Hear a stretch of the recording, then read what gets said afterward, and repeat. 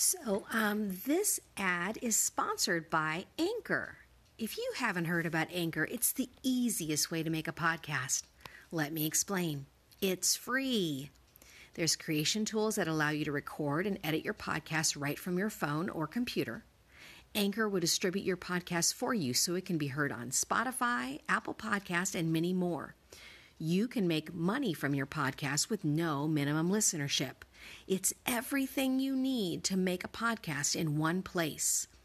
Download the free Anchor app or go to anchor.fm to get started.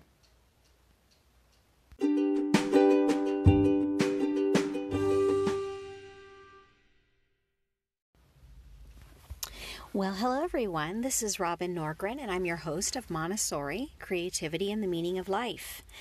I'd like to start a series on a book based on a book called Love Poems from God. Um, it was translated by Daniel Ladinsky, and he has taken 12 sacred voices from the East and the West and brought together some of the poetry that really expresses in multiple um, forms um, the way in which we experience our love towards God and, and the love from God. The first person I wanted to highlight, uh, the name is Rabia, R A B I A.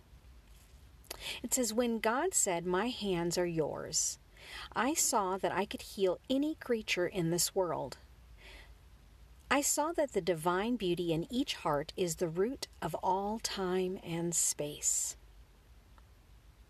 Here's a little bit of insight on Rabia. Rabia of Basra is without doubt the most popular and influential of female Islamic saints and a central figure in the Sufi tradition. She was born nearly 500 years before Rumi, and although it is rarely said, she, perhaps more than any other poet, influenced his writings. Rabia grew up in a part of ancient Mesopotamia that is now Iraq. She was the fourth daughter of impoverished parents, and a story connected with her birth tells of the Prophet Muhammad appearing to her father in a dream to tell him that his daughter would be revered as a great saint.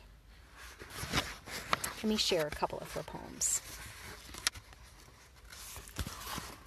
This first one's called The Way the Forest Shelters.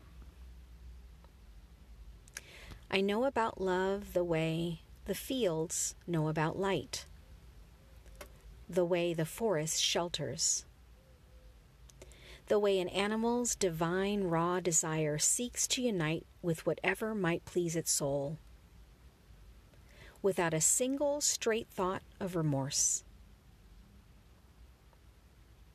There is a powerful delegation in us that lobbies every moment for contentment. How will you ever find peace unless you yield to love? The way the gracious earth does to our hand's impulse.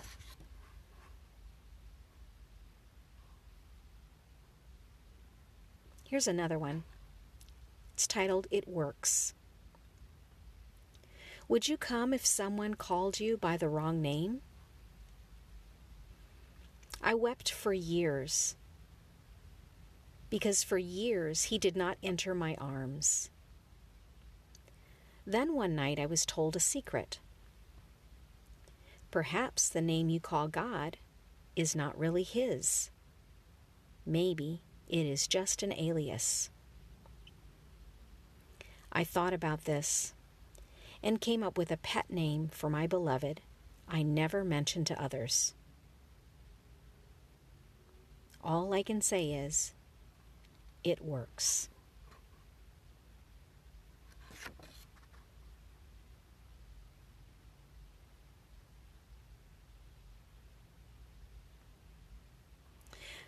Last one, In My Soul, it's called.